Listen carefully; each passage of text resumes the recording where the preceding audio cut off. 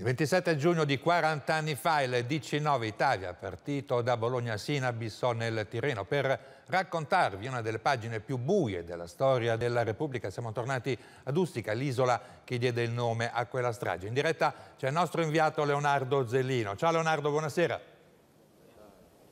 Buonasera a voi da Piazza Umberto, cuore di quest'isola di 1300 abitanti, il cui nome evoca uno dei grandi misteri eh, d'Italia. Subito con Walter Veceglio la ricostruzione del disastro aereo, 40 anni di dubbi, depistaggi e poche verità, poi la testimonianza di Daria Bonfietti, presidente dell'Associazione dei parenti delle vittime ancora in attesa di giustizia. Vediamo.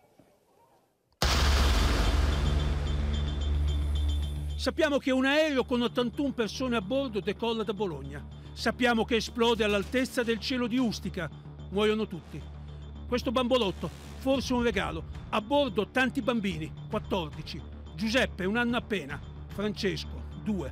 Sappiamo che quella sera in volo ci sono altri 18 aerei. Lo dicono i tracciati che la Nato, dopo tante insistenze e resistenze, fornisce al giudice Rosario Priore.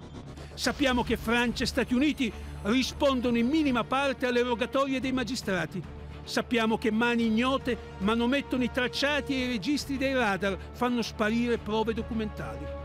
Quattro anni fa il Presidente della Repubblica Mattarella, in un messaggio ai parenti delle vittime, scolpisce parole su cui ancora oggi si ha il dovere di riflettere.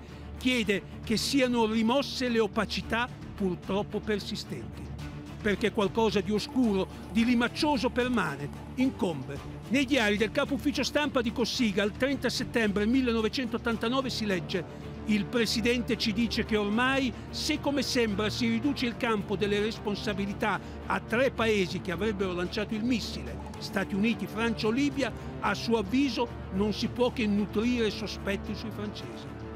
È sempre Cossiga, i francesi non lo diranno mai e se qualche giornalista insiste, chissà che non abbia un incidente d'auto. Butad, attorno a questa vicenda ci sono strane morti, esperti piloti che muoiono in incidenti, addetti dei centri radar che si impiccano, tanti infarti e anche incidenti d'auto, sempre qualche giorno prima di essere interrogati. Coincidenze, ma sono tante, troppe. Quando sono riuscita a realizzare